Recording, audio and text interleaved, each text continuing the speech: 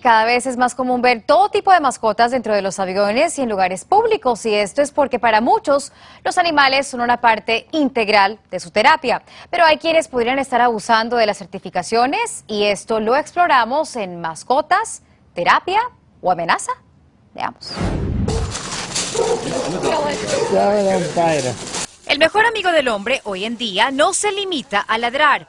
Algunos son gatos, cerdos y hasta pavos reales y cada vez los vemos más en lugares públicos y en las alturas.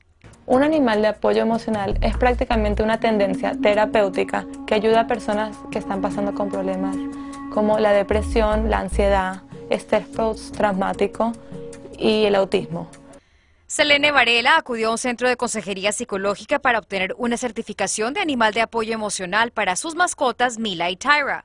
Uno puede ponerse mal emocionalmente si deja de tener la compañía de, sus animales. Mis perros son eh, parte de, una evolución que yo he tenido desde, desde chica o bueno más joven y al fin y al cabo son una parte importante en la vida de una persona. Y cada vez son más quienes tramitan estas certificaciones para animales de apoyo emocional. En el Internet hay docenas de portales en donde por 100 dólares usted puede conseguir una consulta telefónica con un terapeuta, obtener la certificación y hasta un chaleco que identifica a su mascota.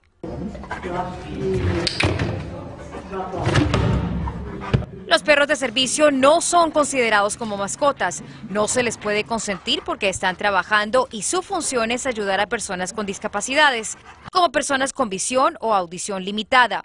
Elis Lorenzo, quien los entrena, piensa que la facilidad de obtener permisos de mascota de apoyo emocional perjudica a quienes en realidad necesitan asistencia. Eso no debe ser. Ah, animales de um, soporte emocional solamente tienen acceso para lugares de vivir y para viajar. Menos de eso, en lugares públicos solamente pueden permitir perros de servicio. Ellos no tienen los mismos accesos que los perros de servicio. Con el aumento de permisos legítimos de animales que prestan servicios, también han aumentado los que por razones ilegítimas tramitan estas certificaciones para tener acceso a lugares públicos e inclusive a las cabinas de aviones.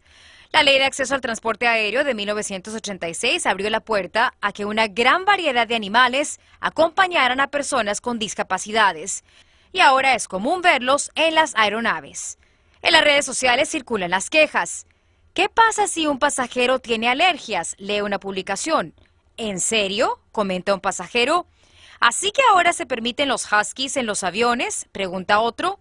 De acuerdo a la aerolínea Delta, desde el 2015 se han incrementado en un 150% la cifra de animales a bordo de sus vuelos. Los incidentes como defecaciones y mordidas a pasajeros han aumentado en un 85% desde 2016.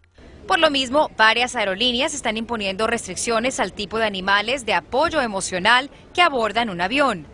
Y en Nueva Jersey en enero, este pavo real literalmente no pudo volar.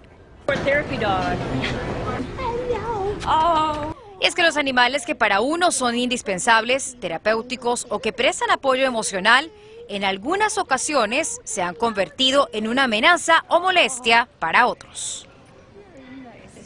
Bueno, y cabe recalcar que los animales de servicio y de apoyo emocional por ley pueden viajar sin ningún costo para su dueño. En lo que respecta a los de apoyo emocional, deben tener una nota de un profesional de la salud.